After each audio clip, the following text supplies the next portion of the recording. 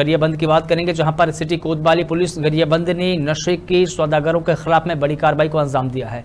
Police ने ओडिशा के दो गांजा तस्करों को गिरफ़्तार किया है। पकड़े गए गांजा तस्करों के पास से तकरीबन 60 किलो गांजा भी बरामद किया गया है, जिसकी कीमत तकरीबन 6 लाख रुपए आकी गई है। गांजा तस्करों को कलेक्ट्रेट के सामने घेराबंदी कर पकड़ा गया है।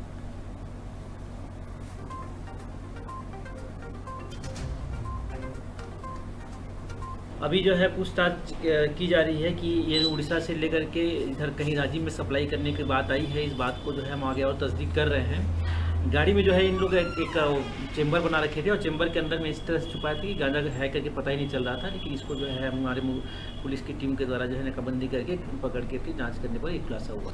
दो आरोपी गिरफ़्तार किए गए हैं स्विफ्ट गाड़ी मिली है और लगभग साठ किलो गांजा जो है इसमें हम लोगों ने जब्त किया है। दोनों आरोपी को गिरफ़्तार कर लिए हैं। दोनों आरोपी जो है उड़ीसा कोरापुट के रहने वाले हैं। इनको अभी अग्रिम कार्रवाई करके जो है गिरफ़्तार कर जेल भेजा जा है।